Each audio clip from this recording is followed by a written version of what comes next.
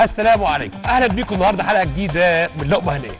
السبت والحد كان عادة عارفين الأكلات السريعة نفس المقدمة غالبا كل أسبوع مع حضراتكم. بنحاول دايما نعمل أكلات تكون بسيطة سريعة مختلفة عن كل أسبوع وكل أسبوع لازم يكون في تتبيلة مختلفة طريقة سهلة للطبق يكون مختلفة. خلينا نشوف مع حضراتكم النهارده عندنا شيش طاووق بس بالصدور والخضروات. دايما الشيش طاووق متعودين إحنا نعمله يا اما بالوراك وكمان الخضروات بتاعته تلاقيها كمان فلفل رومي بصل آه آه طماطماية. لا أنا النهارده حاطين كوسة حاطين جزر حاطين فلفل وحاطين كمان مشروم يبقى أكيد في تتبيلة مختلفة عن التتبيلة العادية. الطبق الثاني عندي شرايح أو آه نقول مثلا قطع صدور الديك الرومي. هنتبلها تتبيلة حلوة جدا وهنشويها ونعملها خلطة بالخضار. الخضار اللي هو مثلا يكون فلفل ألوان بصل مشروم وتتبل كمان بميه البصل ومعاه كمان طماطم cherry وهنشوف التتبيلة عاملة إزاي. الطبق الثالث والأخير هيكون مع حضراتكم شوربة لطيفة جدا ومختلفة عن كل مرة. الشوربة دي اللي بيحب ال diet يكون آه معاه ويحب يقدر يقدر يشرب طبق شوربة محترم يكون فيه فايدة غذائية عالية جدا زي البصل والكرفس والكرات والطماطم كمان والفراخ وكمان عندي الكرنب الأحمر اللي هو حرق الدهون. هنشوف النهارده مع حضراتكم حلقة حلوة جدا حلقة بسيطة قوي. تعالوا نطلع فاصل ثم نواصل. اتفضل.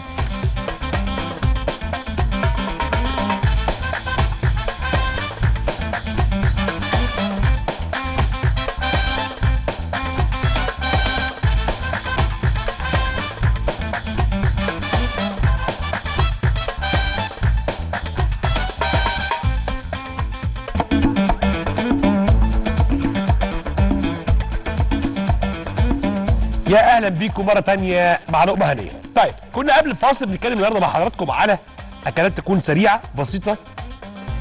مثلا زي ما قلنا من شوية مع حضراتكم الشيش طاووق بيتعمل بطريقة مختلفة الشوربة بطريقة مختلفة وكمان لو هنعمل حاجة مشوية هتتعمل بطريقة مختلفة. أنا عايز أتكلم مع حضراتكم النهارده يعني بطريقة سهلة جدا. هو ده كمان يعني المقصود دايما من حلقات السبت والحد إن حاجة تكون معمولة كده في في الهوا كده أي حد يخش يعملها هو ده بجد المطلوب ان ما تكونش مزود مقادير. مش عاوز مش عايز أعمل تسويات كتيرة أو تسويات وتضجين وترتيبه من كده. تعال نتكلم النهارده بشكل بسيط جدا على نص كيلو صدور من آه الفراخ بدل الشيش طاووق أو بدل اللي هي هتكون آه فكرة ال- الوراك. في ناس كتير ما بتحبهاش أو ناس تح- تحس إن هي بتاخد وقت في التسوية. لا هنعملها النهارده مع حضراتكم بتتبيلة حلوة جدا وبسيطة. طيب هنجيب بولة فاضية. بسم الله. ونبدأ نجيب مضرب عشان نتبل كويس. ونبدأ نشوف هنعمل إيه في التتبيلة دي. تتبيلة الشيش طاووق دايما فيها زبادي. تمام؟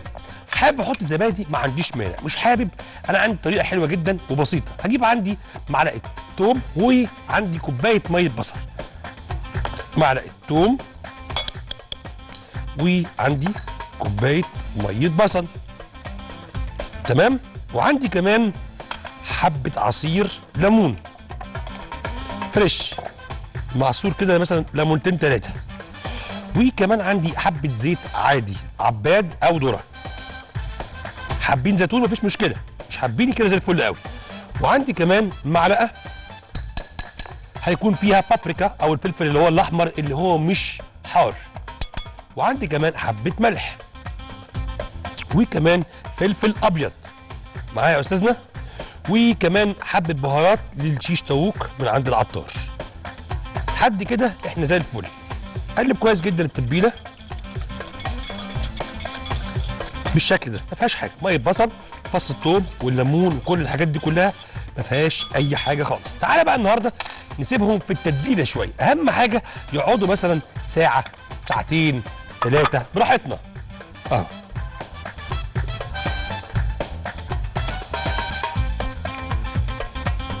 وتتقلب كويس جدا التتبيلة مع بعضيها ومع الفراخ. ومن هنا ينزلوا الأول على الشواية. ياخدوا طعم ونفس الشواية أو يخشوا على طول على الصينية حسب اللي عندنا في البيت وحسب ما نقدر نعمل إيه.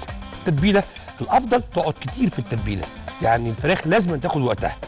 فده برضو يعني لازم نقول مثلا ساعتين مثلا وبعد كده ناخدها ونوديها على طول على الشواية بشكل بسيط.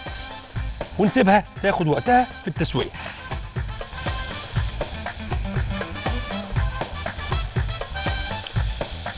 تمام يا سيدي؟ تمام. ومع إن ان أنا طبعا يعني بقول كلام وبعمل عكسه بس طبعا الثلاث ساعات دول لازما بجد التتبيلة تكون واخدة حقها في ال في ال في وقتها عشان خاطر الحاجة تطلع معاك كويسة. حد تاني يقول لي طب ما انت عملتها دلوقتي؟ هقول لك ما أنا برضو يعني البرنامج طبعا مش ثلاث ساعات ولكن خلينا نتكلم بكل صراحة لازم الحاجة تاخد وقتها شوية. هعمل إيه بقى دلوقتي؟ هجيب عندي لسه برضو المره عندي حاجة تانية جت على بالي. هجيب عندي بص كده يا شفيق حبة الزعتر دول. هاخدهم كده على سن السكينة.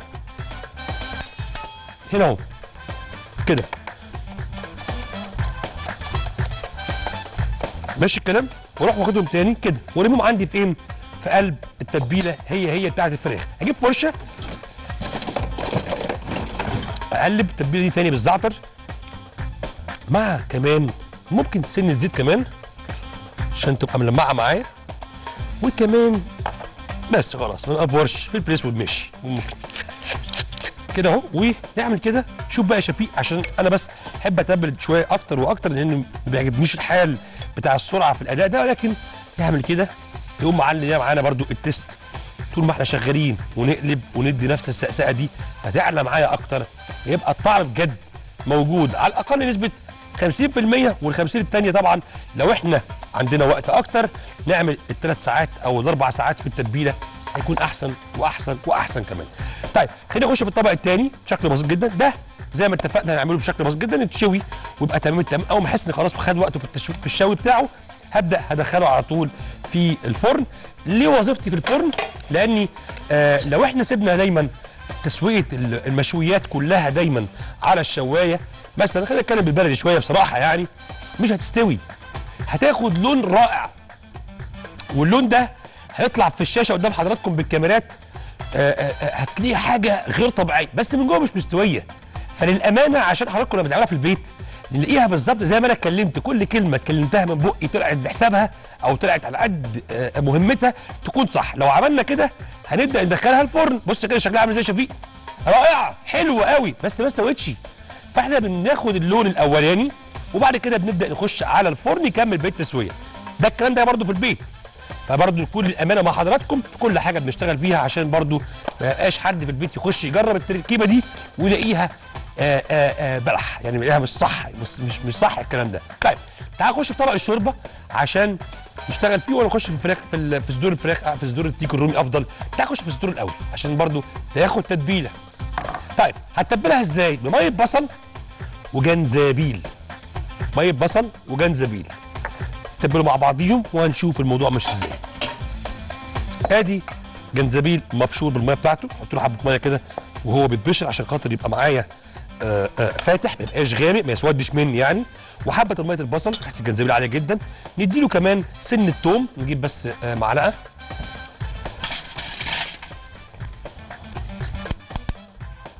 معلقة. صغننة كده توم.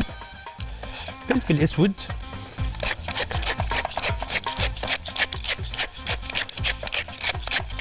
تمام. وكمان نديها حبة ملح. وكمان سنة كمونة. يلا مش تقولي لأ. ماشي كده يا عمنا؟ ونجيب لها كمان معلقة ريحان. هنا بقى الاختلاف هيبقى مختلف تماما. معلقة ريحان مفرومة أو لو حابين نحط أي أعشاب طبعا مش هيقول لأ. ولكن التتبيلة لازم تكون مختلفة. كل تتبيلة تكون ليها طعم مختلف تاني عن الأولاني. عشان ما نبقاش حاسين إن إحنا يعني طول النهار في تتبيلة واحدة. خليني أقلبها. كده أهو. ونجيب صدور الديك الرومي أو صدور الفراخ. تحط جواها تتبيلة لطيفه جدا. طبعا الكلام ده كله على فكرة أنا ممكن أمشيه النهارده دايت. أمشيه زي ما أنا عايز. أمشي يعني لو مش عايز أحط زيت كتير أو أحط أحط آه، زبدة أو أي حاجة الكلام ده كله يعني يكون ليه نفس كويس قوي ويمشي دايت زي ما اتفقنا. ما يبقاش فيه دهون كتير يعني.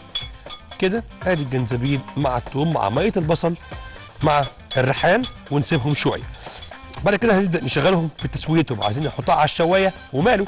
مش عايزين شواية ممكن نخليها طاسة برضو وماله. نبدأ نقلب تاني. شوف يا عم شفيق كده. بعمل كده ليه؟ عشان ما اخليهاش تلزق وأنا برفعها معايا يا أستاذي؟ عفوا. خلي الحاجة تاخد وقتها ونجيب الفرشة تاني ونبدأ نسقسق. كده أهو. نبدأ الحاجة تاخد تسويتها وتبقى ليها. نفس. زي ما اتفقنا الأفضل تكون موجودة فترة طويلة على الفراخ على التتبيلة بتاعتها عشان تاخد طعمها وتبقى ليها نفس كويس. شكلها هيبقى حلو ولكن المضمون ده هيكون منين؟ من الشواية أو من الفرن. التتبيلة دي تاخد وقتها وتتعايش. أنا بصراحة مش عايز أستربع عليها وعايز كمان أستغل الشواية تاخد على قد ما تاخد وتديني لسعة كويسة وبعد كده ممكن نضيف الصدور الديك الرومي دي على مطرح الشيش اللي إحنا عملناه مع حضراتكم على على الشواية أكيد الطعم هيختلف. خلينا نقلب. شوف اللون يا شفيق بياخد بسرعة إزاي. لحد كده هنقف عند الجزئية دي. هنرفع الكلام ده كله على صينية وندخله الفرن ونحط بداله. الصدور بتاعة الديك الرومي أدي صينية زي ما هي كده.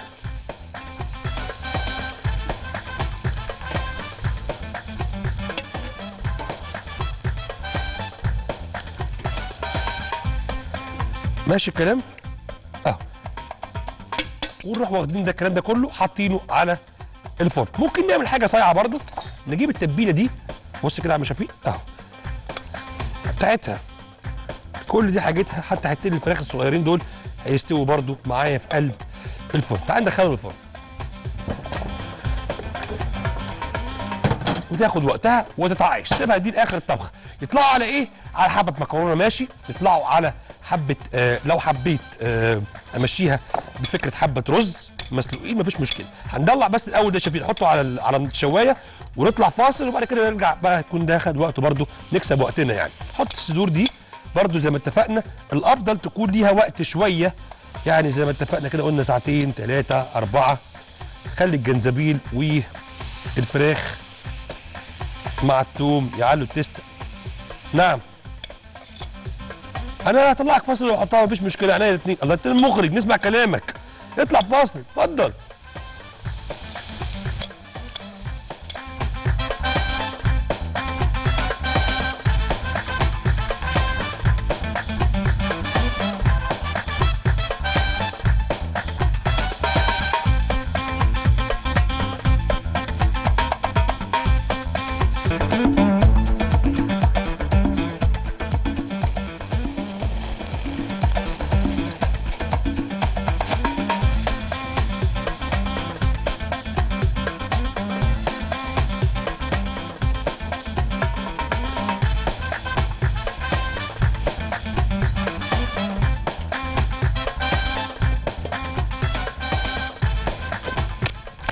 يا أهلا بيكم مرة تانية مع لقمه هنية. طيب كنا قبل الفاصل شغالين في الشيش ودخلناه ال- الفرن مع حضراتكم بحيث إن ياخد تسويته وزي ما اتفقنا. آه لازم الحاجة آه تاخد لونها وتبقى شكلها رائع وجلد وخطوط الشواية بس نأكد نتاكد مرتين ورا بعض نتاكد إن الحاجة تبقى استوت لأن ممكن يكون شكلا فقط لا غير. عشان كده بنقول دايما ندخل الحاجة الفرن وما نعتمدش بس على الشواية فقط لا غير. طيب دي هي بتاخد وقتها. وطبعا الريحان زي حضراتكم شايفين بصوا شباب الريحان عامل إزاي؟ حاجة يعني آه، على مزاج. عايز أعمل لها بقى آه، آه، خلطة حلوة وتاخد وقتها في التسوية وأعمل لها صوص رائع إن شاء الله ونهدي عليها الشواية شوية بحيث إن هي ما تتحرقش مني.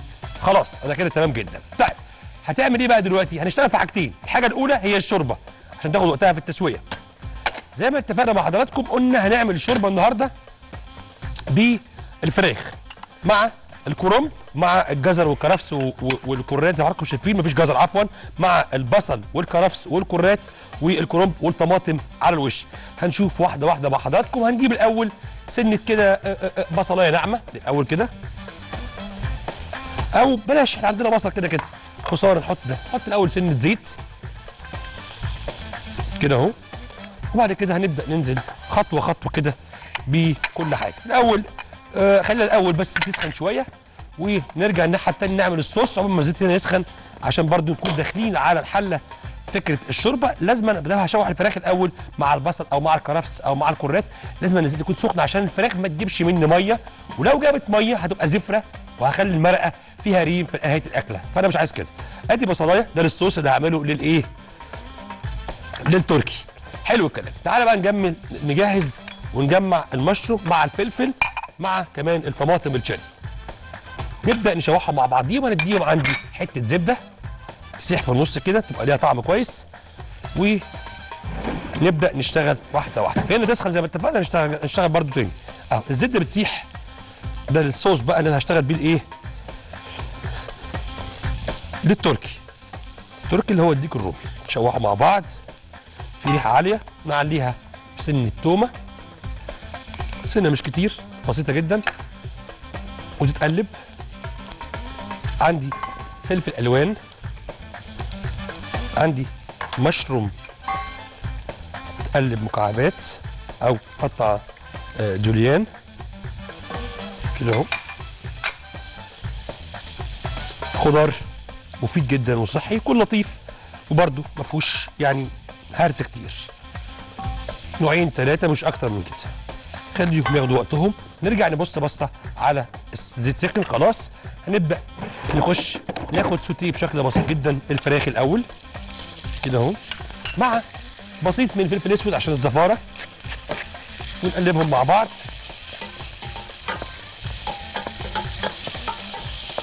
أول ما أحس إن خلاص دخلوا في مرحلة التسوية هنبدأ نأسس بقى الشوربة. الشوربة زي ما إحنا متفقين أساسيات الشوربة عامة معايا أنا شخصيا ده لازم عندي ما فيهاش هزار. البصل والكرفس والكرات دول أساسيات.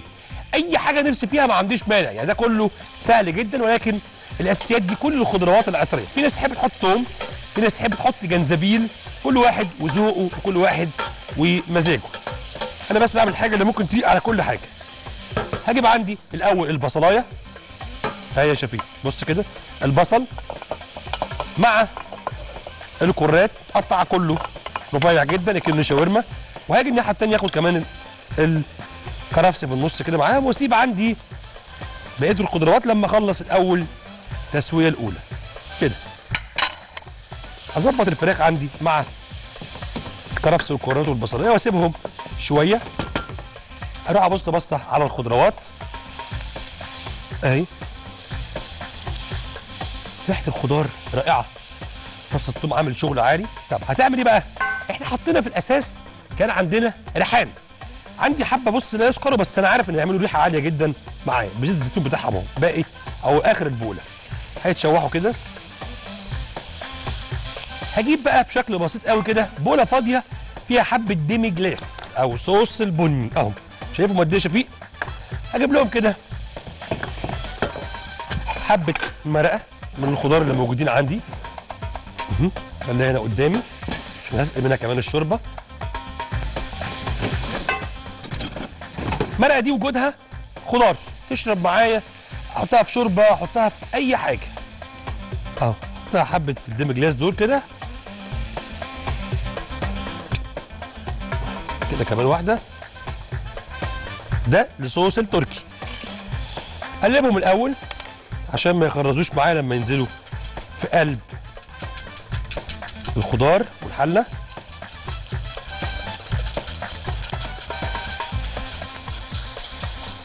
ماشي يا عمنا.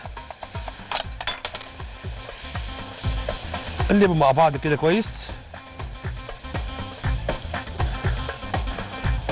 وبعد كده هجيب عندي التركي ينزل في النص كده معاهم. أهو. واغطي أكمل تسوية الخضار بتاعي مع التركي واوطي النار عليه. ولو أحط طماطم مش أحطها على الوش وما أقلبش. خدت بال حضرتك يا فندم؟ وهعمل كده وأروح موطي النار.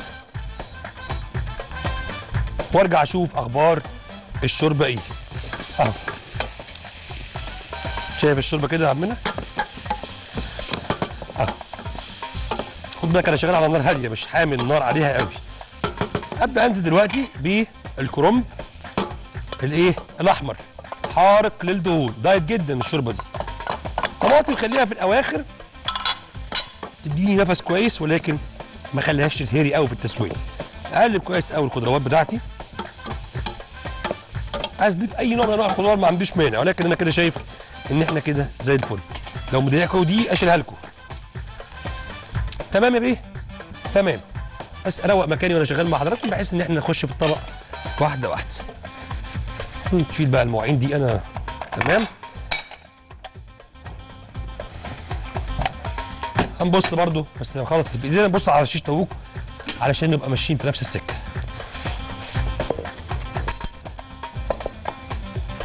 دايما الواحد لما بينظف آه النظافة في الشغلانه بتاعتنا دي بتاعت المطبخ دي مش شطارة بس لا ال- النظافة هي حلاوتها في حاجة تانية خالص غير انك تكون نظيف. النظافة أنت لازم تكون لازم تكون نظيف. المطبخ ما فيهوش مجال إن يكون في واحد نظيف أو مش نظيف. لا ده أنت لازم. يعني لو مش نظيف أحسن ما نخش المطبخ. الفكرة في حاجة تانية. النظافة أول بأول حسيتك إن الطبق يعني الأولاني أنت نسيتيه خلاص شلت المواعين بتاعته وخلاص تمام التمام. الطبق التاني لما يخش على نظيف تلاقي إن في نفس الواحد يطبخ وفي نفس الواحد يشوف الحاجة قدامه لكنها لسه أول حاجة هشتغل فيها. أما لما يكون كله على بعضه متركن كده كمعدات أو كمواعين بالبلد شوية يعني كوحشة هنا على البوتاجاز كوحشة هنا على ال counter على ما أعتقد ده بيخلي الواحد يعني أو أنا شخصيا بتكلم عن نفسي يعني حاسس إن في حالة خمول شوية أو حاسس إن الحاجة يعني هي هياها فبنزهق ده مش صح. هنا الخضرة دي خلاص ما زودش عن كده تشويح هبدأ أنزل عندي بالمرقه بتاعتي مرقة خضار ثابتة. بسم الله. كده أهو. فراخ هتديني مرقة كويسة مع الخضار. كله هيمشي في نفس الوقت. طماطم دي زي ما اتفقنا عايزين نحط حبة على وش حبة. مش عايزين برضو حسب الرغبه ولكن هي شوربة فراخ بالخضروات. بس كان ممكن نجيب جزرايه على فكرة ناخدها معاهم جوليان برضو. ناعمة كده. كان ممكن ده كله في إيدينا. ولكن إحنا عملنا كده على قد اللي قدامنا بحيث ما نزودش في الأمور. دي بهاراتها عبارة عن إيه يا عم شفيق؟ بص كده يا باشا حبة فلفل أبيض وسنة ملح وسيبها تغلي وتتعايش. أنت جيت هنا أكيد عايز تصور حاجة. تصور إيه بقى؟ دي؟ تمام. يلا تعالى بقى بص لما نطلع الفاصل ده أوريك الشيش تاوك خلصان إزاي؟ أهو. الله الله. تعالى يا عسليات. أهو أدي شيش تاوك اللي إحنا عملناه مع حضراتكم من شوية خلصان ده يطلع مع إيه بقى؟ أنا عامل له حبة رز مسلوقين عاديين جدا سنة قرفة لو حبينا. مسلوق رز مسلوق. ونعمل كده. شوف. شوف بتكلم في إيه؟ أهو. بص يا شفيق كده. أهو. ضامن هو الله طبعا في كل حاجة بس بص. أهو. ضمننا إن الحاجة استوت وتمام تمام. أهو. ادي الشيش طاووق معمول طريقه بسيطة جدا في البيت طريقة الخضار. طعمها على ما أعتقد إن شاء الله تكون جميلة حضراتكم تدوقوها وتقولوا لنا رأيكم. إيه هنطلع ده على طول على المائدة وهنطلع فاصل وبعد الفاصل إن شاء الله نرجع نكون مخلصين إن شاء الله. الشوربة خلصانة و ال- ال- الصوص يكون خلصان هنا. أنت بقى عايزني أسيب الطبق ده هنا ولا أوديه ولا أبعد أنا على الطبق؟ إيه، ما أنا عارف أنت عايز تشيل الطبق يعني ولا إيه؟ لا يا باشا. أيوه كده. قول لي بقى سيب الطبق لأن ساعات بقول لشفيق هنطلع الفاصل وآخد الطبق وأمشي. يكون هو يا عيني في قلب القطاعه على الطبق. فأنا بحب اهو شوف أنا قد إيه كيوت معاك النهارده. وأنت ما تستاهلش الكلام ده بس يعني أهو بنعديها لك. يلا اتفضل اطلع فاصل.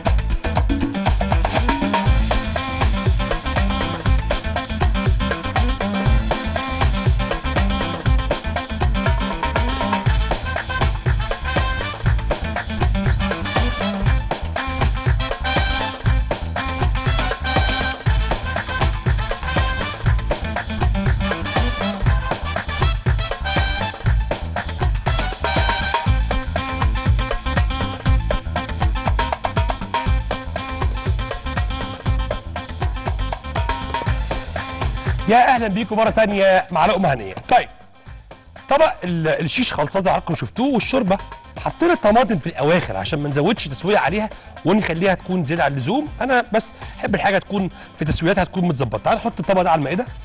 ده أول طبق لحضراتكم. طبق الشيش مع الرز المسلوق بالبهارات. والبهارات بالأخص النهارده حاططها قرفة. يعني بعض الناس تحب القرفة في البهار بتاع الرز المسلوق. وده طبق شوربة. خضروات مع الفراخ. وتعالى بقى نشوف أخبار الدنيا. هنا إيه؟ شوف يا سيدي. شوف.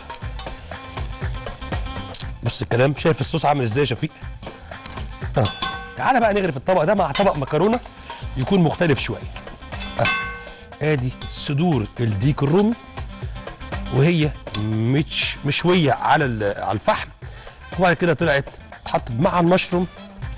واتغرفت مع المكرونة. ممكن أي مكرونة مش شرط مكرونة بالسبانخ ومكرونة دايت مش شرط. أي مكرونة بنحبها إن إحنا عايزينه بالهنا والشفا لحضراتكم آه. هنجيب.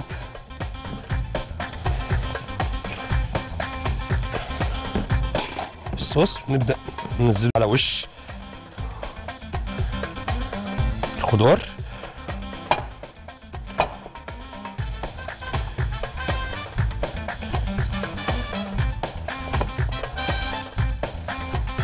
ما نزودش عشان حاجة تبقى باينة واضحة قدام حضراتكم. ده كمان يطلع على المائدة ولكن هديله تاتش زيت زيتون لو تكرمت.